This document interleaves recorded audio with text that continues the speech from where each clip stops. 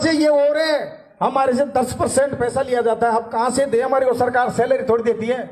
उसकी चीज़ का मेरे पास सबूत है। और उस चीज़ का अगर सबूत आप देखना चाहो हमेशा बैठो अगर उस चीज़ का सबूत आप देखना चाहो तो मेरे पास में कंप्यूटर लगाओ। ये पेन ड्राइव है, जो ये ट्रांसफोर वाली एक मिनट भैया। टीचर को किस एंगल से देखा जाता है अच्छा है या बुरा वो? तो वो मैं भी बताने के लिए तैयार हूँ क्योंकि मैं सफ़ाई सफ़ाई से कह रहा हूँ अगर लैपटॉप हो तो लाके और इसे आराम से जनता के बीच चलाए मुझे कोई आपत्ति नहीं है। तो फिर भी मैं एक निवेदन और कर रहा हूँ एमएलए साहब बैठ जाइए आपकी विधानसभा नहीं है। मैं फिर एमएलए साहब से कह रहा हूँ बजट दो जनता आपकी है बजट दो जनता आपकी है। बाकी मैं इक, अगर इक्यावन लाख रुपए का बजट ही देते हैं ग्राम पंचायत में तो ही बजट लिया जाएगा। दस लाख बीस लाख मुझे नहीं चाहिए। मैं वो देख लूँगा कौन विकास कौन बजट लाता है और कौन यह धरातल में काम कराता है। देना है तो एमएलए साहब का स्वागत है। इक्यावन लाख रुपए दमरा के लिए घोषित हो।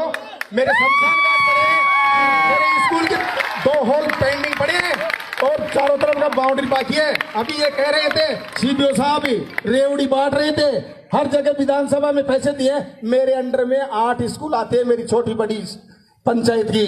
अभी तक इन्होंने एक रुपया एक रुपया इन पंचायत को नहीं मिला। ना तो एमएलए लैंड से मिला, ना एमपी लैंड से मिला। ला रहा हूँ पैसे, मेरे बलबूते से ला रहा हूँ। और दूसरी चीज़, सर, एक मिनट है सर। सर, वार्तालाप करो, सर, बताओ बताओ बताओ, सर, बताओ।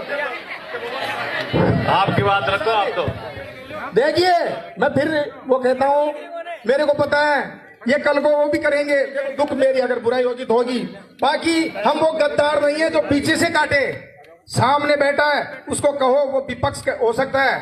बाकी अगर ये एमएलए साहब ये करेगी, मैं वो कर दूँगा, वो तो आने वाला टाइम बताएगा। दूसरी बात, इस तीसरों से मेरा एक निवेदन रहेगा आप जो राजनीतिक पावर में चल रहे हैं ना उन जड़ों का मेरे को अच्छी तरह से याद है। वो दिमाग से कचरा है जो निकाल दे बच्चों पे ध्यान दे तो ज़्यादा बेटर रहेगा क्योंकि पदमपुरा है। ये ना तो किसी से प्रेशर में जीना सीखा है और ना प्रेशर में आना सीखा है। अगर सरपंच करना जानते हैं तो अधिकारियों को इधर उधर उठा के डालना भी जानते हैं।